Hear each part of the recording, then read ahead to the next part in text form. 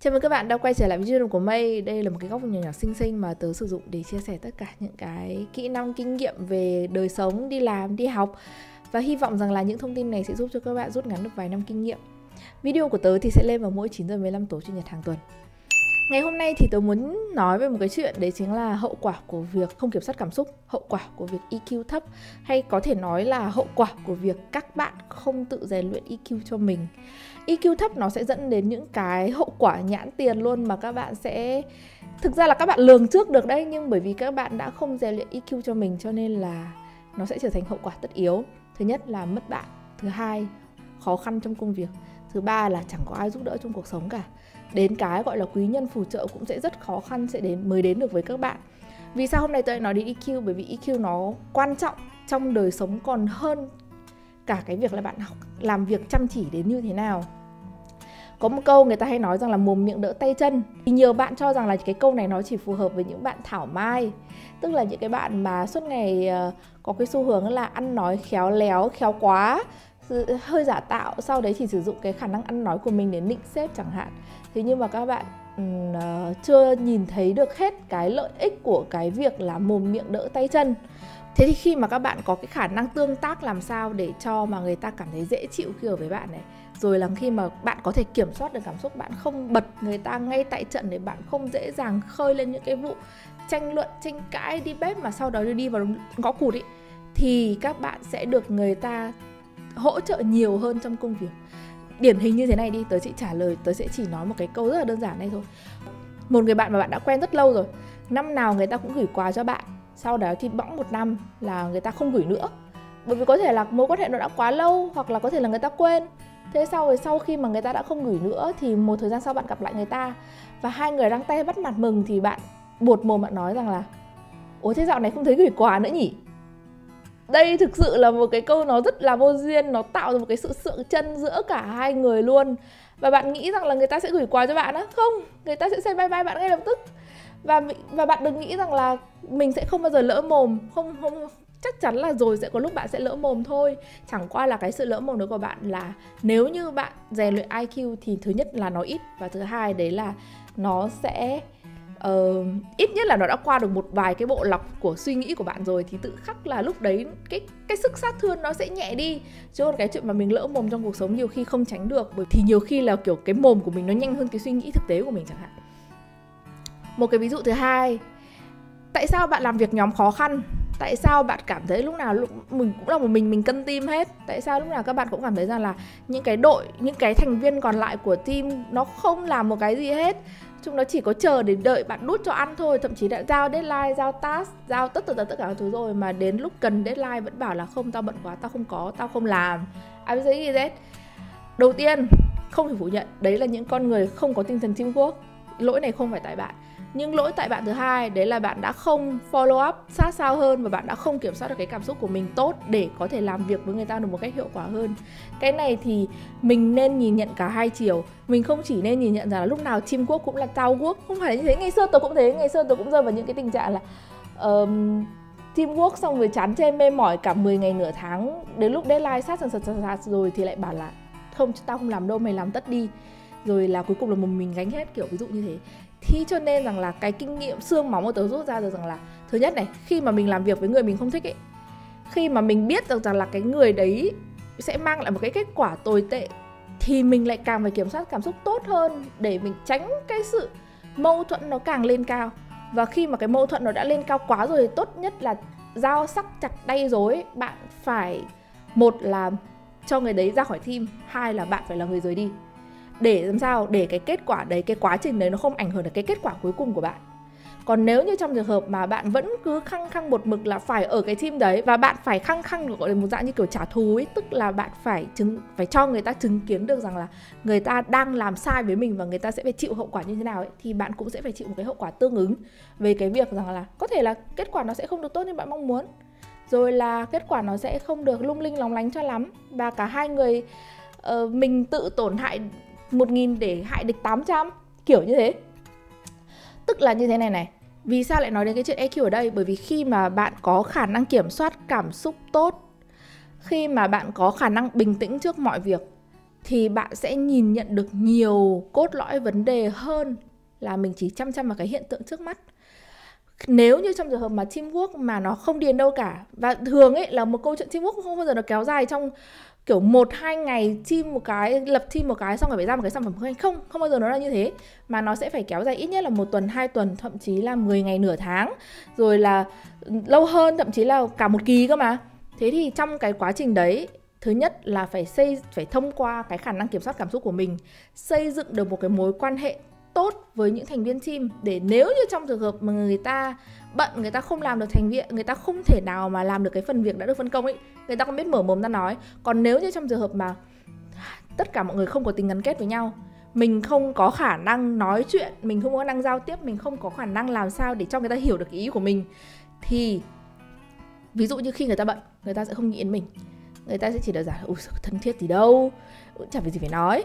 Hoặc là khi mà người ta cảm thấy rằng là ừ thì thôi, không làm thì thôi, ví dụ thế. Người ta chả liên quan đến mình, tại vì người ta đâu có việc gì người ta phải nghĩ cho mình đâu, đúng không?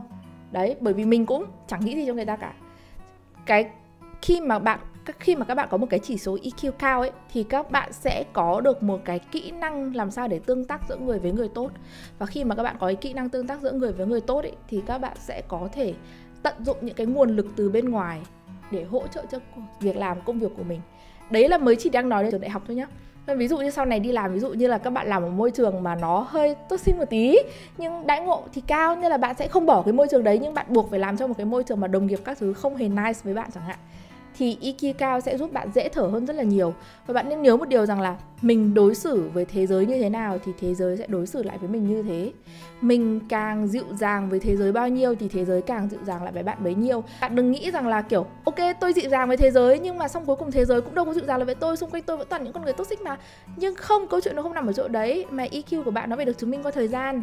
Khi mà bạn làm việc càng nhiều, càng lâu, càng với một tâm thế thoải mái, an lành, an nhiên càng dịu dàng với thế giới bao nhiêu thì những người xung quanh rồi họ dần dần họ sẽ thay đổi. Đương nhiên là họ sẽ không thể thay đổi 100% 180 độ, tức là không thể. Nhưng ít nhất là rồi cũng sẽ có người nhận ra điểm tốt của bạn và rồi cũng sẽ có người nhìn thấy cái điểm tích cực, cái sự, cái bầu không khí thoải mái xung quanh bạn và họ sẽ dần dần đến gần bạn hơn và họ sẽ trở thành nguồn lực hỗ trợ cho bạn. Thêm một cái nữa, làm việc với sếp làm việc với sếp mà không có EQ tốt thì bạn đang tự lấy đá đập chân mình. Bạn đừng nghĩ rằng là bật sếp là chuyện dễ. Nhiều khi á, đồng ý là sếp có thể có những cái hãm, có những cái oái oăm, có những cái không đâu vào đâu cả, bởi vì họ cũng là con người thôi. Thế nhưng họ hơn một bạn ở chỗ đấy là họ đang là sếp.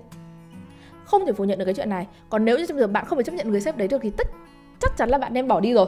Còn nếu mà trong trường hợp mà bạn vẫn muốn làm việc tiếp với người đấy, thì việc đầu tiên bạn nên làm đấy là kiểm soát cảm xúc của mình trước. Bởi vì chỉ có bản thân mình mới thay đổi được chính mình mình không thay đổi được người khác đâu các bạn ạ. Vậy nên là đừng bao giờ nghĩ rằng là không, mình cứ bật sếp, mình cứ từ chối sếp, mình cứ say no thẳng thừng quá đi. Thì thì rồi sau này sếp cũng sẽ biết và sếp sẽ lùi, sếp sẽ không bao giờ giao việc, những cái việc linh tinh đấy cho mình nữa. Thế nhưng bạn nên nhớ một điều rằng là khi đã sếp đã không giao những việc linh tinh cho bạn nữa thì những việc quan trọng cũng không bao giờ đến với tay bạn. À, khi mà sếp đã không giao được những cái việc quan trọng đến tay bạn thì đâu sẽ là nơi để bạn chứng minh năng lực? Và khi mà bạn có thể sử dụng cái mồm miệng của bạn đỡ tay chân của trước mặt sếp thì lỗi to hóa nhỏ lỗi nhỏ hóa không thì bạn mới có cơ hội thứ hai để làm lại. Còn nếu như trong trường hợp mà bạn cứ um, cứng rắn quá chẳng hạn bạn cũng kiên cường quá bạn cũng mạnh mẽ quá và bạn cũng có những cái thái độ uh, cứng rắn với sếp của bạn chẳng hạn có thể rằng là hậu quả nhãn tiền là đơn giản rằng là bạn không làm việc người sếp đấy nữa. Nhưng hậu quả lâu dài có thể họ sẽ đi bạn. Họ sẽ không giao cho bạn việc nữa. Họ sẽ không để những người khác được phối hợp với bạn. Vậy thì con đường thăng tiến của bạn nó nằm ở đâu?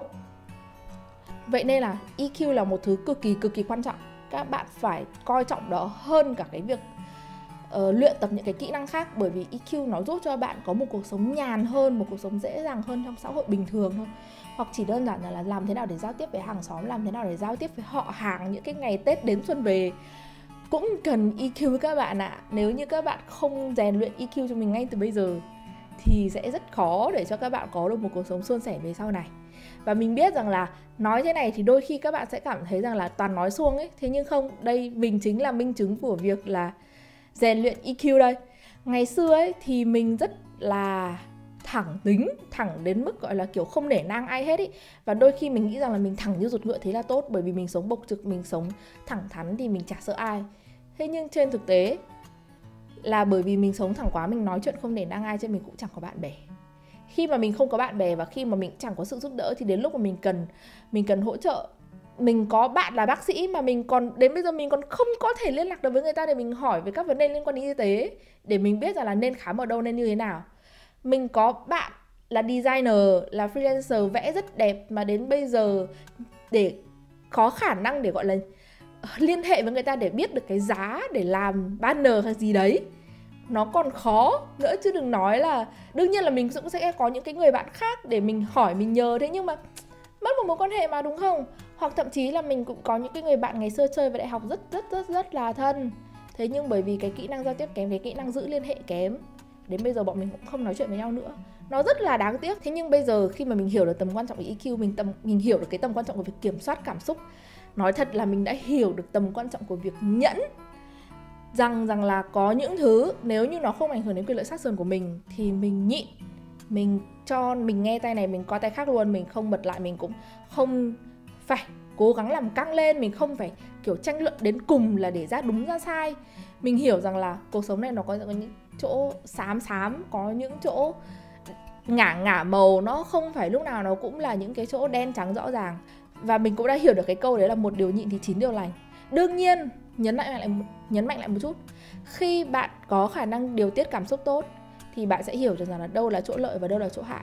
Để bảo vệ bản thân mình là một này.